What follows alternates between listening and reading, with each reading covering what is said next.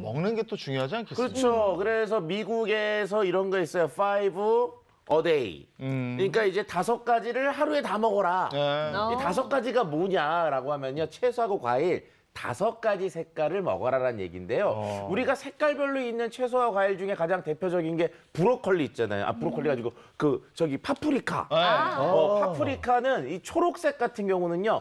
해독하고 비타민 C 공급이 좋아요. 어. 근데 노란색은 비타민 A가 많고 단맛이 좋거든요. 그래서 이렇게 색깔별로 영양소의 구성과 효능이 좀 다른 면이 있으니까 색깔별로 다 챙겨 먹는 게 좋습니다. 그래서 이런 것들을 구석구석 잘 챙겨 먹어줘야지만 피 부가 이렇게 윤기가 나는 거죠. 어. 아이, 채소가 좋은 건 알겠는데 네. 솔직히 맛이 그렇게 있지 않잖아요. 그래가지고 잘안 아, 먹게 그렇죠. 되더라고요. 좀 이런 말씀을 하시는 하영 씨는 아만 봐도 초식 동물은 아니고 육식 동물인 것 같아요. 그런데 우리가 일반적으로 이렇게 그 나이를 조금 역행하는 채소류들이 몇 가지가 있거든요. 이제 네. 그 중에 하나를 추천하고 싶은 거는 케일. 음. 요거 좀 추천하고 아. 싶어요. 자, 일단 케일은요.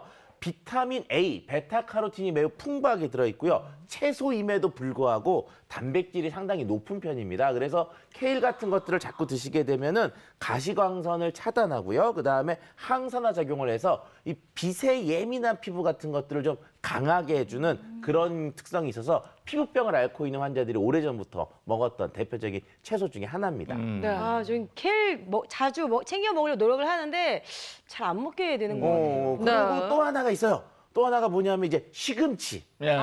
음. 시금치, 저 굉장히 시금치는 저는 좋아하거든요. 김밥 먹을 때 무조건 빼고 먹습니다. 아. 그래요? 아, 근데 시금치 같은 것들이 이제 뭐 세계 뭐 10대 슈퍼푸드에도 뭐 들어가고요. 네. 그리고 우리는 알고 있는 게 이제 뽀빠이.